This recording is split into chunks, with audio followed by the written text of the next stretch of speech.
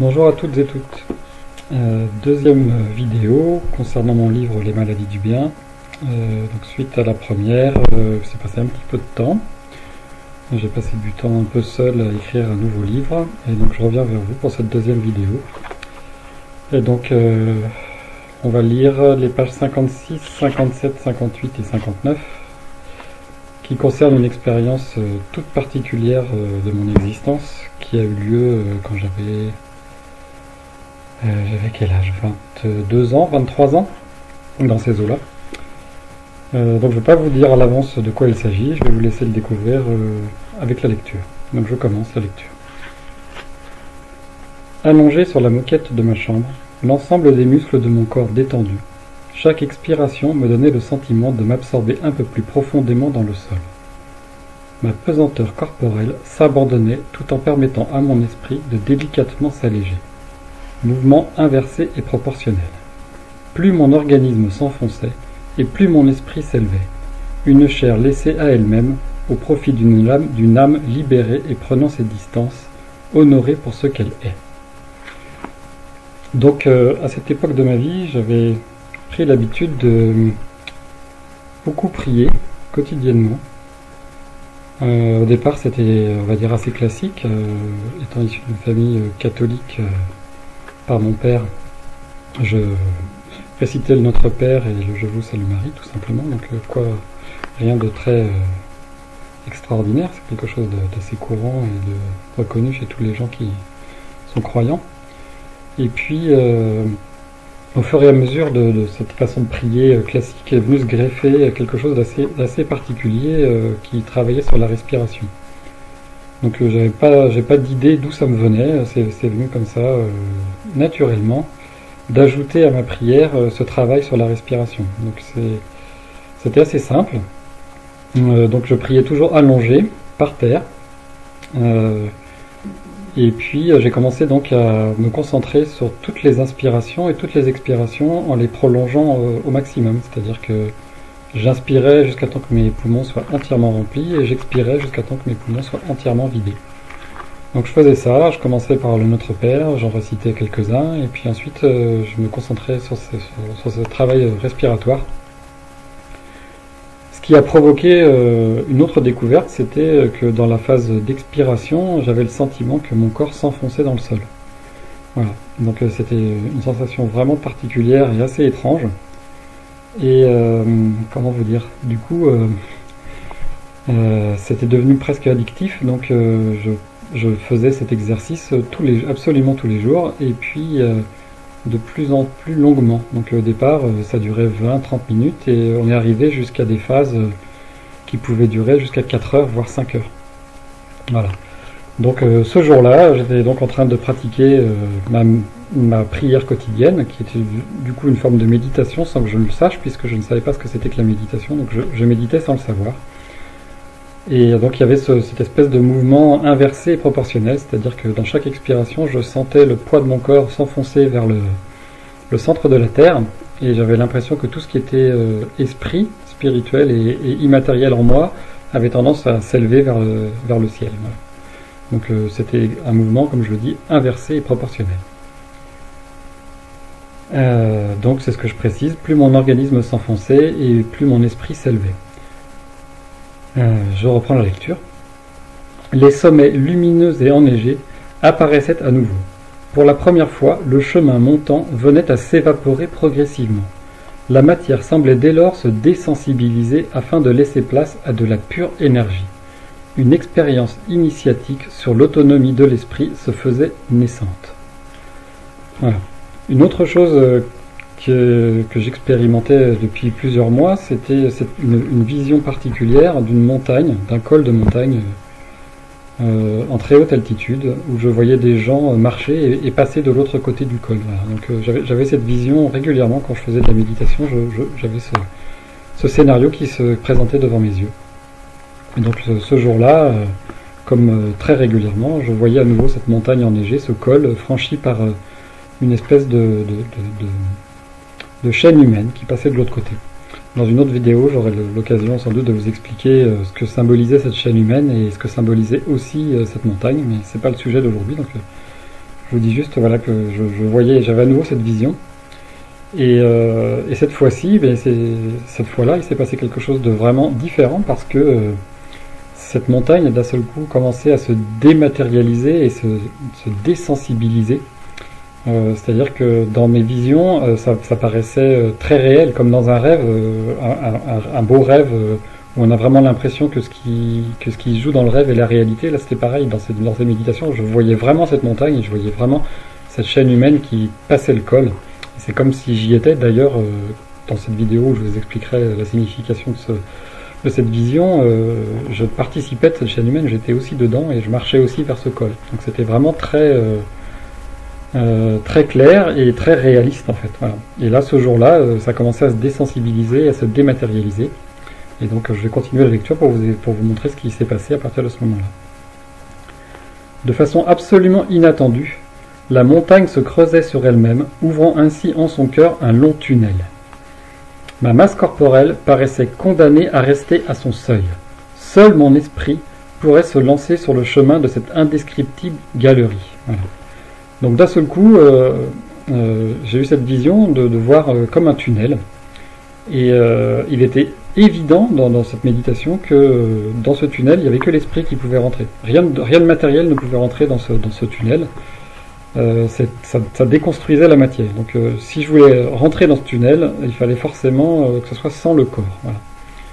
c'est une expérience très déroutante, très très bizarre, ce sentiment d'un seul coup que si vous voulez expérimenter ça, il faudra y aller sans le corps. Sauf que comme notre esprit est complètement accroché au corps, ça, paraît juste impossible.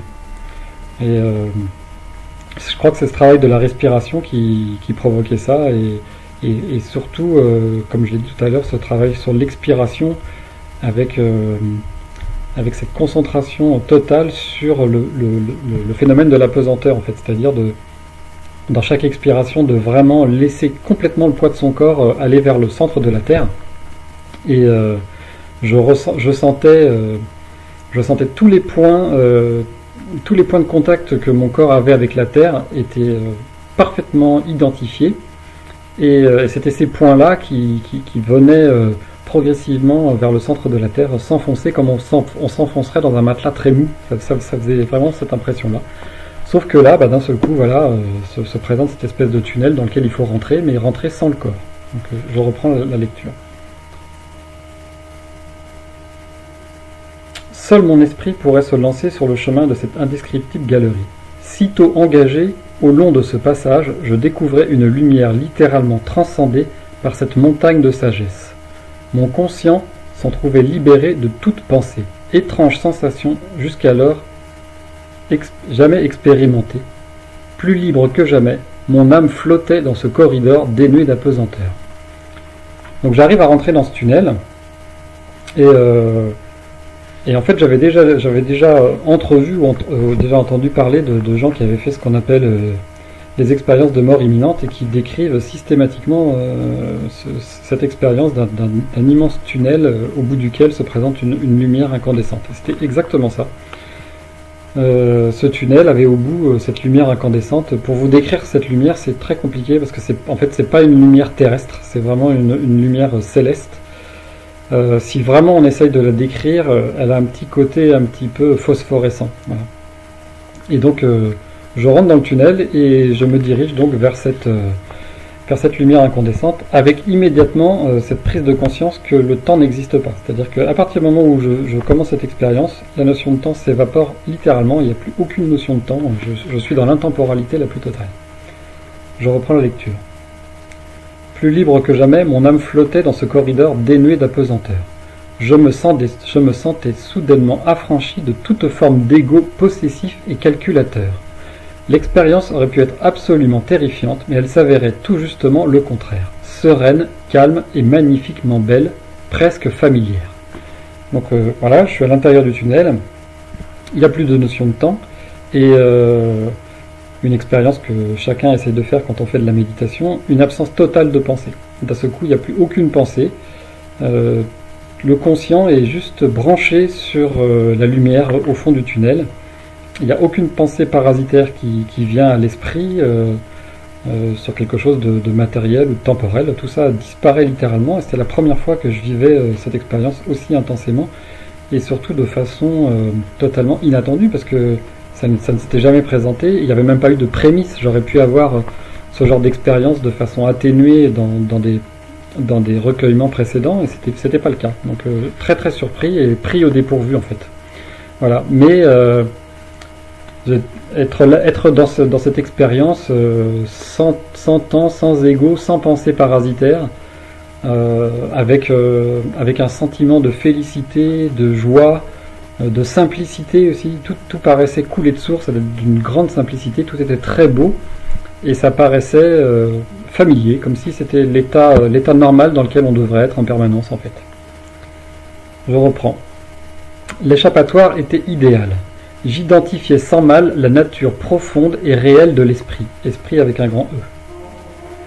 Je me devinais ainsi au-dessus de moi-même, le corps étendu au sol de ma chambre. Je devenais dès lors un amas de cellules esselées et attendant patiemment le retour de son souffle de vie.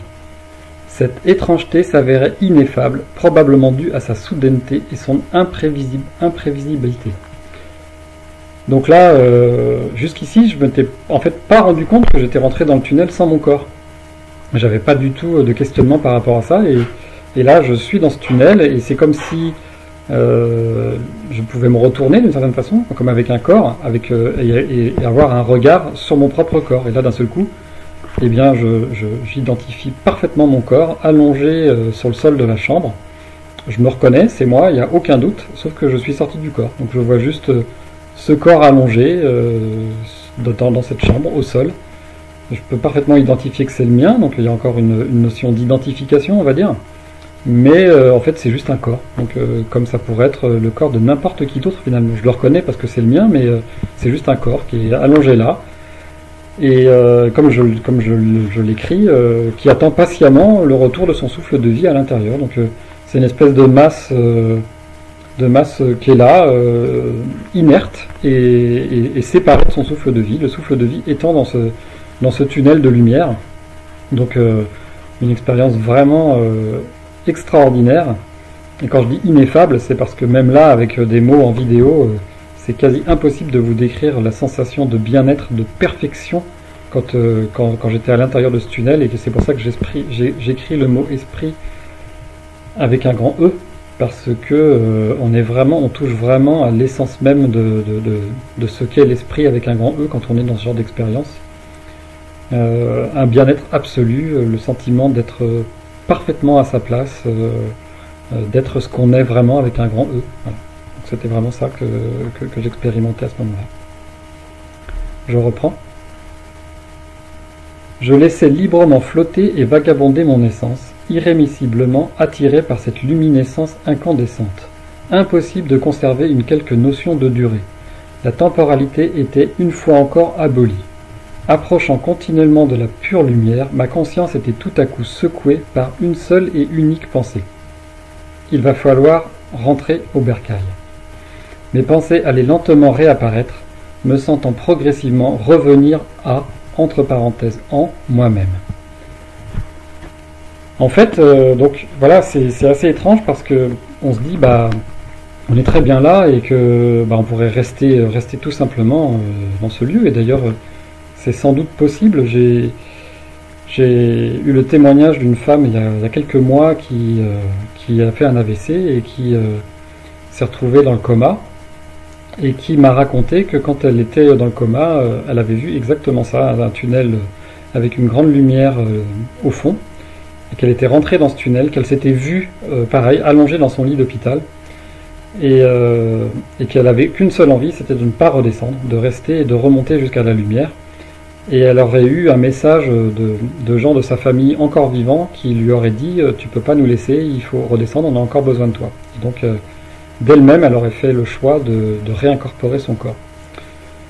Moi, il n'y a pas d'appel de, de, gens extérieurs à moi, c'est en fait ma propre mon propre corps d'une certaine façon, euh, ma propre conscience qui me rappelle et qui me dit euh, euh, ouais c'est gentil, c'est génial ton expérience, mais il va falloir réincorporer, il va falloir rentrer dans le corps et, et rentrer au bercail, c'est ça. Donc du coup il y a une prise de conscience de ça qui immédiatement fait revenir la notion de temporalité.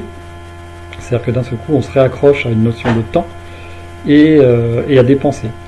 donc cette pensée qui, te dit euh, il, faut, il faut retourner dans ton corps maintenant. Donc je reprends la lecture. Mes pensées allaient lentement réapparaître, me sentant progressivement revenir à en moi-même. J'avais le curieux sentiment de me réinclure avec une gêne particulièrement appuyée. Le lieu de chair devenait soudainement trop, trop étriqué pour y enfermer tout mon esprit, mon énergie nomade, un contenant infiniment plus grand que son contenant. Voilà, ça c'est vraiment euh, ce qui a été le plus important dans ce retour dans le corps, ça a été cette phrase, un contenu infiniment plus grand que son contenant. Pour vous donner une image euh, de ce que ça faisait comme, euh, comme impression, alors déjà c'était très désagréable, c'était très difficile. Et euh, c'est un petit peu comme si vous essayiez de faire rentrer la mer dans une bouteille de 5 litres, ou dans une bouteille d'un litre 5, ce qui est évidemment matériellement totalement impossible. Et ça revenait à ça, cette impression d'avoir à faire rentrer euh, une tonne d'énergie dans un, dans un récipient qui peut, qui peut en contenir qu'un gramme. Et pourtant, ça marche. C'est-à-dire que, évidemment, ça a du mal à rentrer dedans, mais ça rentre. L'énergie, euh, comme de l'eau, est totalement malléable, donc elle prend la forme du corps dans lequel elle doit rentrer, même si, en fait, elle est euh, infiniment plus grande que le corps dans lequel elle entre. Donc c'était vraiment une expérience majeure de se rendre compte qu'en fait, l'esprit est infiniment plus grand que notre corps. Il n'y a aucun, aucune comparaison possible entre ce corps de matière et l'esprit qui l'anime. Euh, c'est le, tour de force, le tour de magie euh, de, l'énergie avec un grand E, de l'esprit qui arrive à rentrer dans un, dans un, tout petit corps pour faire une expérience de chair. C'est juste incroyable. Je reprends. De retour et après un long moment d'adaptation, ma pesanteur refaisait surface. Mes muscles se dégourdissaient et mon esprit s'accrochait de nouveau à dépenser. Revenu en moi-même, l'ensemble de mon corps était maintenant si lourd que j'avais bien du mal à le remettre en ordre de marche. Je sentais que l'incroyable balade s'était définitivement envolée en réussissant à, soulever mon corps. Donc là, je voilà, vraiment réintégré mon corps avec grande difficulté. Euh, ce sentiment même de ne pas être totalement à sa place, euh, c'était une pensée qui me venait et puis un engourdissement énorme, l'impression que le poids euh, du corps est absolument gigantesque, qu'on pèse une tonne et, donc il faut laisser un petit peu de temps au, désengourdissement du corps. Et quand ce désengourdissement s'est fait, euh, j'ai pu commencer à bouger les mains, les bras et entreprendre de me, relever. Ce qui était difficile puisque d'un seul coup le, poids du corps était énorme et tout était rentré dans l'ordre. J'avais des pensées. Euh, voilà, tout était redevenu euh, comme euh, à l'habitude. Donc j'essaye de reprendre une vie normale et de me lever, et donc je reprends la lecture à ce moment-là. Je comprenais en ces instants, en cet instant, avoir commandé à ma conscience d'amorcer le demi-tour. Dans la longue galerie à l'ardente lumière, ma peur avait pris les devants. Que pouvais-je faire? Que pouvais-je faire face à l'immensité abyssale de l'amour qu'elle distillait à, à, plein? Avons-le, l'appréhension m'avait gagné. Je me, là, je prends conscience de ce qui m'a fait en fait rentrer dans le corps. C'est tout simplement, euh, je pense, ce qu'on appelle le mental ou le petit ego, qui d'un seul coup euh, a eu peur.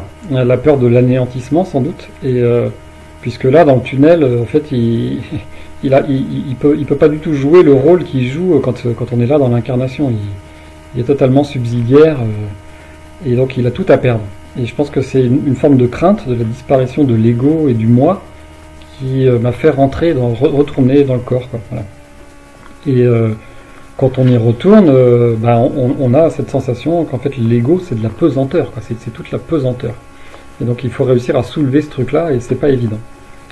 Euh, surtout que voilà, là il était facile d'identifier que ce tunnel en fait c'est juste euh, l'énergie primordiale de l'amour et que quand on est on est dans cette énergie là, euh, c'est la perfection absolue.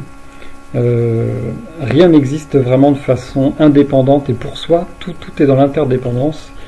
on est tous liés, tout est un.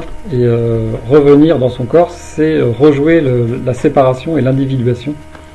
Donc on est là pour ça, donc c'est quand même éminemment important de pouvoir faire cette expérience. Mais quand on a fait cette expérience de la décorporation, on prend encore vraiment beaucoup plus conscience de ce que ça représente. Je reprends la lecture. Terriblement assoiffé, j'entreprenais de me diriger vers la cuisine. Avançant vers le miroir qui faisait face, je me surpris à ne pas pouvoir réellement me reconnaître. Stoppé net, je fixais mon, propre regard. Sa familiarité revint si lentement que j'eus le temps de la voir revenir. De retour sur terre, mon ami, semblait murmurer mon propre refrain mon propre reflet. En fait, euh, quand je sortais de ma chambre, j'habitais encore euh, chez mon père à l'époque. Euh, et pour descendre dans la cuisine, il fallait, marcher face à un miroir. Et, puis, on pouvait pas le louper, il était vraiment en haut des escaliers, donc on était obligé de passer devant. Et c'est quand je suis arrivé devant ce miroir que d'un seul coup, eh ben, je, ne me, ne suis pas reconnu. Voilà, donc ça c'est aussi une expérience vraiment, vraiment très particulière. Et c'était à tel point que du coup, j'étais, fait comme ça j'ai collé mon nez euh, contre le miroir et j'ai fixé mon regard. Et en restant fixé euh, comme ça euh, sur mon regard, j'ai vu progressivement revenir dans mon regard l'expression du regard. C'est-à-dire que je suis passé d'un regard vide, ce qui n'est pas vide dans le sens péjoratif du terme, genre un, regard de quelqu'un qui n'a aucune expression et qui, est vide de tout. En fait, c'était c'était vide, mais dans le sens vide de vide de l'ego, vide de la personnalité et rempli de l'unité. Donc c'était très bizarre et au fur et à mesure, j'ai vu ma personnalité euh, réincorporer le regard exactement comme mon esprit avait réincorporé mon corps en fait. Donc ça m'a permis de voir euh, euh, l'expression du regard se transformer progressivement. C'était vraiment très étrange. Je reprends à nouveau la lecture. L'enseignement mystérieux, tapis au fond de cette expérience, s'imposait simplement. Il fallait me rendre compte combien une description composée de simples mots ne pourrait jamais en retranscrire la démesure. Il était pourtant devenu tellement évident d'avoir à en crier la possible existence. Voilà, donc ça, il euh, faut voir que cette expérience, donc, euh, elle est vécue en 1992. Ça, c'était en 1992. Et à ce moment-là, c'était imposé le fait qu'il euh, fallait partager cette expérience et la dire aux autres. Alors vous voyez, on est en 2020, donc euh, le bouquin est sorti en 2018, donc il aura fallu de 1992 à 2018 pour que euh, j'arrive à exprimer et, à me décider à publier ce livre et à, expliquer, cette expérience. Et comme vous le voyez, il faut même une vidéo supplémentaire à ce qui est écrit dans le livre parce que il y a toujours une forme de pudeur et même on peut dire limite de crainte en fait de de révéler ce genre d'expérience. Et euh, quand j'étais jeune, là, quand j'avais donc 22 ans ou 23 ans, j'ai écrit cette expérience quasiment immédiatement. Donc ce que je vous lis là, en fait, c'est écrit depuis 1992 et c'est resté dans les tiroirs parce que euh, il était inconcevable pour moi de, de publier ça, enfin de, de, mettre ça au grand jour, même de le dire aux gens. Donc c'est une expérience que j'ai gardée euh, plutôt secrète, que, dont, dont je ne parlais qu'avec vraiment une poignée de gens. Euh, pour la simple et bonne raison, c'est que j'étais dans la crainte qu'on me prenne pour, euh, pour un malade. Quoi. Donc, euh, donc je ne disais rien. Et comme je l'écris dans la préface de mon livre, Les maladies du bien, voilà, je, je, je, je, suis arrivé à une forme de maturité et d'acceptation de ces expériences et du fait qu'en effet, il fallait les partager. Donc c'est ce que je suis en train de faire aujourd'hui, qu'il fallait, c'était quelque chose qu'il fallait partager au plus grand nombre. Je reprends la lecture. Néanmoins, je m'assurais qu'elle ne pouvait pas se refuser à l'ensemble des chercheurs volontaires et assidus. De plus, j'étais parfaitement conscient de n'avoir fait que quelques pas au cœur de cette immensité de bonté. Aurais-je le privilège d'y goûter à nouveau, ne serait-ce qu'une seule fois? Euh, Donc oui, ce qui était très important aussi euh, comme information suite à cette expérience, c'était que cette expérience est absolument euh, réalisable par l'ensemble des êtres humains. C'est-à-dire qu'il n'y avait aucune condition requise pour pouvoir vivre cette expérience, qu'elle était à la portée de tout le monde. Euh, j'y mettrais euh, tout simplement deux conditions. La première, euh, c'est la prise de conscience que c'est possible, l'acceptation que ce soit possible. Et la deuxième, tout simplement, l'esprit, c'est comme le reste, ça se travaille, c'est comme faire de la gymnastique, c'est comme tout, c'est-à-dire, je prends souvent cet exemple parce qu'il me touche directement en étant ancien marathonien, c'est que vous prenez conscience que votre corps est capable de courir 42 km, vous êtes conscient que vous pouvez le faire, par contre, bah, il, faut, forcément un, un entraînement adéquat pour pouvoir le faire. C'est pas parce que je sais que d'autres le font et que je suis capable de le faire aussi euh, que ça se présente à moi aussi facilement que ça. Il y a tout le travail euh, et l'assiduité d'un entraînement. Et en spiritualité, c'est exactement la même chose. Il faut qu'il y ait une conscientisation dans un premier temps. Dans un second temps, la, réalisation que c'est offert à tous. Et dans un troisième temps, euh, se donner les moyens de, pouvoir, euh, de pouvoir ouvrir les portes de la spiritualité. Et ça, ça se fait par un travail assidu et quotidien, de préférence. Donc ça, c'était très clair. Donc euh, ensuite, comme je dis, j'étais parfaitement conscient de savoir, de, n'avoir fait que quelques pas au cœur de cette immensité de bonté. J'ai eu le sentiment d'être, d'avoir vraiment franchi quelques pas à l'intérieur de ce tunnel mais en fait, c'est un tunnel qui est tellement gigantesque et l'énergie d'amour qu'il y a dans, ce tunnel est, tellement euh, surpuissante que euh, on ne peut pas y entrer euh, très profondément. Et je pense que ça, ça n'engage que moi, c'est très subjectif, mais je crois que arriver à un, certain stade, et ça correspond à ce que mon amie m'avait décrit quand elle était dans le coma, je pense qu'on on peut monter jusqu'à, on peut rentrer dans ce tunnel jusqu'à un certain stade, et au-delà d'un certain stade, la décorporation est tellement totale qu'il n'y a, plus de retour en arrière. C'est-à-dire que vous, ne réincorporerez pas votre corps. Vous restez désincarné et, vous allez de, l'autre côté, de l'autre côté dans, ce qu'on appelle l'autre monde ou l'au-delà. Donc là, j'ai avancé jusque là où j'ai pu, et surtout jusque là où mon petit mental et mon petit ego ne euh, se sentaient pas justement totalement menacés et sur le, point de disparaître totalement, et m'a rappelé à moi pour dire oh là là, faut vite rentrer quoi. Donc euh, je suis rentré à ce moment-là, mais j'avais bien conscience que ce que j'avais touché là, c'était euh, c'était bien, ça allait bien plus loin que cette expérience-là, ça, allait beaucoup beaucoup plus loin que ça. Et puis euh, il y a eu ce piège énorme de évidemment se dire je l'ai vécu une fois, je vais le revivre plein de fois. Et je vous en parlerai peut-être dans d'autres vidéos. je suis tombé dans un dans, le, dans le, piège de, du, marcheur spirituel de qui veut absolument reproduire des expériences magiques euh, à volonté. Et c'est pas forcément comme ça que ça marche, c'est-à-dire que je crois que cette expérience m'a été montrée euh, bah, pour en montrer la possibilité, montrer l'immensité de l'amour et ce que, ce que ça représente, mais ça ne veut pas dire nécessairement qu'il faille euh, reproduire cette expérience autant de fois qu'on le veut, et alors en plus après on le fait souvent avec le mental, dans le justement je veux, je décide que, c'est moi qui décide, et ça fonctionne pas comme ça. Ce qui fait que ça a si bien marché, c'est que c'était inattendu et non voulu. C'est venu tout seul sans, que je, m'en rende compte et sans que je fasse de j'en fasse la demande express. Je termine, nous sommes à la fin du chapitre. Le bout du tunnel dans lequel j'étais entré se trouvait maintenant si loin. Cette insoutenable luminosité demandait peut-être une immense préparation pour être approchée au plus près. Au final, c'était bien ma peur qui en avait interdit un abord assuré. À jamais je tiendrai cette certitude que la vie n'était qu'un singulier chemin à arpenter. Fin du chapitre. Donc euh, c'est quelque chose que du coup vous vous doutez bien qu'après j'ai lu beaucoup de bouquins euh, sur les gens qui avaient fait des expériences de mort imminente.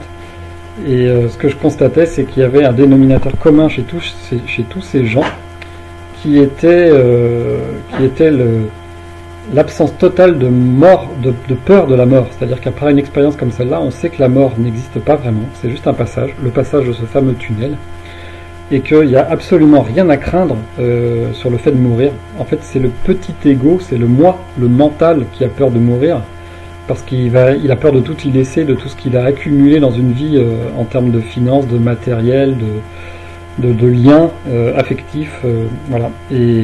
Et en fait, tout ça, ça fait partie de l'expérience qu'on est venu faire ici, mais, c'est dérisoire aux yeux, aux yeux de, l'amour et de, cette lumière de fond de, fond de tunnel, c'est rien du tout. Donc, comme tous ces gens qui ont fait ces expériences de, mort imminente ou de décorporation, ben, j'ai compris que la mort, c'était rien du tout, qu'il fallait absolument pas en avoir peur. Et puis, ça m'ouvrait aussi les portes de, du tout est parfait, une notion vraiment qu'on trouve très souvent en spiritualité et, euh, et puis euh, du pourquoi de l'incarnation, ce qui, euh, comme information, me donnait spiritualiser la matière, c'est-à-dire venir faire le choix ici en tant qu'esprit de rentrer dans la matière pour la spiritualiser. Voilà, donc euh, je, vais, euh, je arrêter là pour cette vidéo. Une demi-heure, c'est bien, c'est pas trop long. Enfin, j'espère que c'était pas trop long pour vous. J'espère que j'ai été assez clair et que ça vous aura plu. Si vous avez des questions, euh, n'hésitez pas à me poser dans les commentaires en dessous et je me ferai une joie d'y répondre. Je vous remercie beaucoup pour votre attention, le temps que vous m'avez consacré et je vous dis à très bientôt. Merci. Au revoir.